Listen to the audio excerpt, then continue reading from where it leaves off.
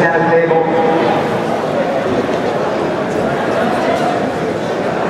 Please, all the staff.